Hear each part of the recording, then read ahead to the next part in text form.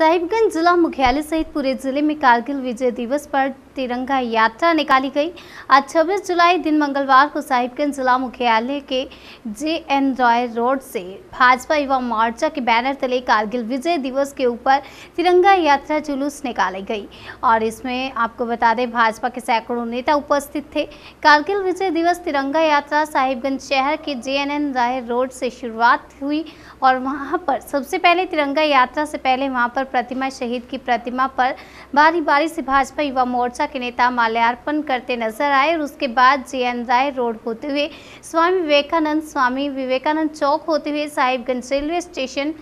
चौक होते हुए college road होते हुए साहिबगंज सुबोध सिंह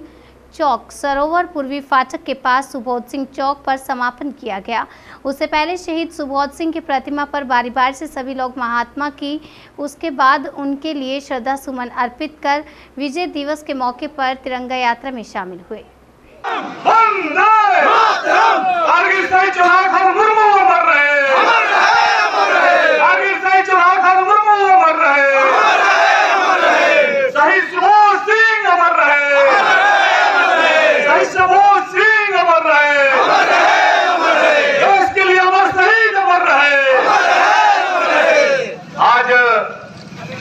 भारतीय जनता पार्टी युवा मोर्चा के नेतृत्व में हमारे आदरणीय जिला अध्यक्ष श्री अनिमेश सिन्हा जी के नेतृत्व में आयोजित आज यह तिरंगा यात्रा में विशेष रूप से उपस्थित पार्टी के सम्मानित जिलाध्यक्ष श्री रामभरत यादव जी, पार्टी के और साहेबगंज नगर परिषद के सम्मानित अध्यक्ष श्री श्रीनिवास यादव जी, नगर परिषद के सम्मानित उपाध्यक्ष श्री रामानंद शाह जी, भारतीय जनता पार्टी के सम्मानित सभी वरिष्ठ नेतागण, उपस्थित युवा शक्ति, और यहाँ उपस्थित मातृशक्ति आज सचमुच में दिन यह गौरव का दिन है। यह गौरव उन महान विभूतियों को, उन महान विभूतियों को नमन करने का दिन है, जिन्होंने मातृभूमि की रक्षा करते करते खुद के प्राणों की शहादत की है, खुद के प्राणों को निशावत किया है। हम सबको मालूम है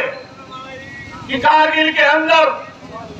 पाकिस्तान जैसे आताताई देश के द्वारा हमारी सीमा के अंदर प्रवेश करने के लिए एक छद्म युद्ध चलाया गया था। लेकिन हमारे देश के जुनागन मुर्मू, इसी माटी के लाल शहीद सुबोध सिंह जी, ऐसे हमारे सैनिकों ने अपने संघर्ष और शौर्य गाथा के बल पर वैसे पाकिस्तानी आतंकियों को उसके घर में घुस करके उसको खदेड़ने का काम किया। और प्राणों को देने भारत माता की। यह वो दिन है। यह वो दिन है।